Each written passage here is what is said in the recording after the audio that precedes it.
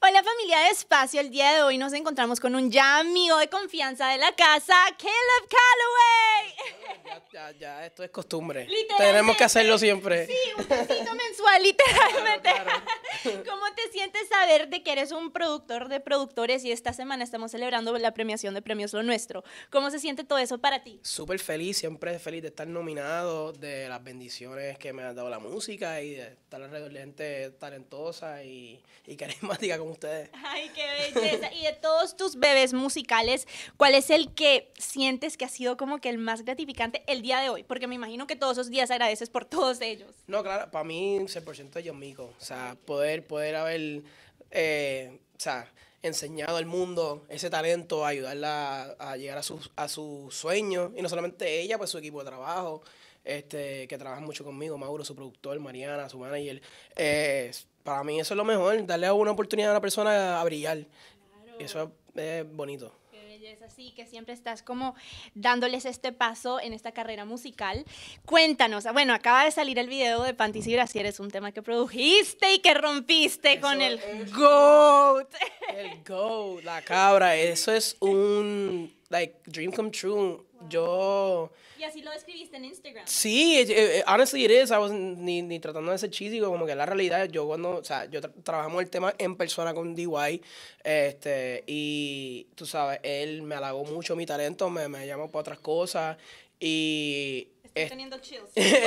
estar en el estudio con él y verlo como respetó mi trabajo, tú sabes, él tenía, nos tenía un spread, ya llegamos ahí con comida puertorriqueña, un catering, o sea, the, the- the big boss, literal. The big boss. Literal, y para mí, mi, mi, o sea, esa canción yo la hice mientras estábamos en Los Ángeles, en my bed, en el hotel, este, que estamos haciendo Trap Cake 2, que no tenía nada que ver con el proyecto, y escuché la canción vieja de Camouflage de Daddy Yankee, que es el pedacito que sale en principio, y yo dije, voy a armar esta pista y esto va a ser para Yankee Rao. Wow. Y así fue, y así fue. Qué cool. Y quiero que me cuentes cómo hiciste para, literal, tenértelo para ti todo este tiempo y no revelarlo, porque me imagino que fue como... Fue difícil, bastante difícil, pero yo lo que hice fue, pues mira, e- esa canción la hicimos en, en ese camp para Trap Cake y nunca tuve la canción.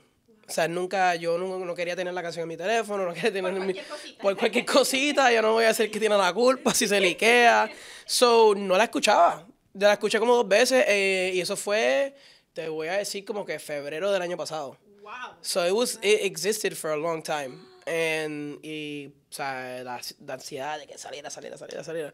Y está rompiendo, la canción está rompiendo. Estoy bien feliz de eso y feliz por Raúl también, porque yo sé que Raúl, o sea, tener una canción con Yankee, no importa cuán grande tú eres ya como artista, hay unos artistas que tú trabajas con ellos y te sientes como un niño de nuevo. Exacto, y es un momento de, o sea, círculo completo, Claro, literalmente. 100%. Yo, yo me siento así, no solamente con, con, con Yankee, pero con, con Yandel, que, estoy, que trabajé cinco temas, seis temas en el disco de él, que él, él hizo cuando te toca con, con Mico.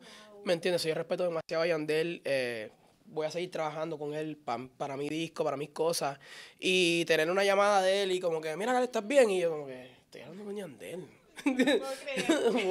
Tú sabes, como que yo soy bien amigo de Zion y de Randy, pero como quiera que sea, yo, yo siempre mantengo ese respeto de que yo crecí escuchándolos a ellos.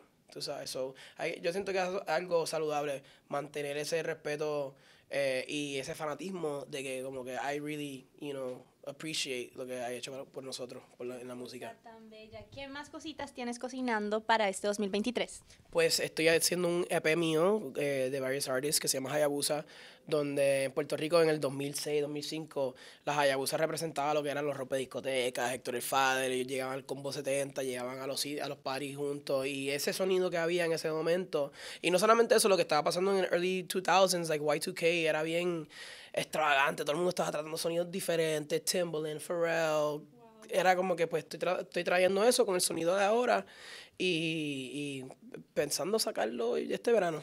Ay, and we're here for it. Literalmente, ya Yeah. quiero. Vaya Yeah, un yeah, countdown. The, the first single is, is basically ready, so estamos activos, estamos activos para Hayabusa. Saben, lo escucharon en espacio primero. Literal. ha sido un placer, como siempre, estar Claro, contigo hoy. gracias a ti por siempre venir. Si le puedes mandar un saludo a tu familia. un saludo a la familia Espacio, siempre, siempre un orgullo estar aquí con ustedes.